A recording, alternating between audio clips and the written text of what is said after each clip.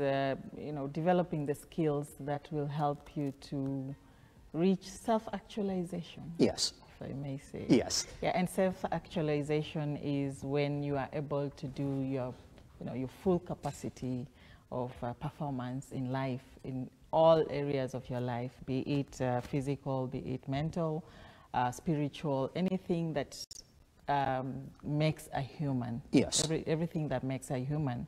When you look at trees, they grow to full capacity.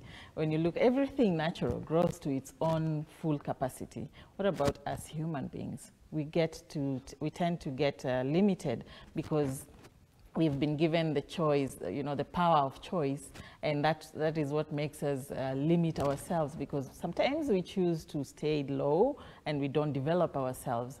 So I may want to call it personal development and not personal, Personal growth. growth yeah, because we grow, we grow up, we, you know, we rise up we- in height and in width, but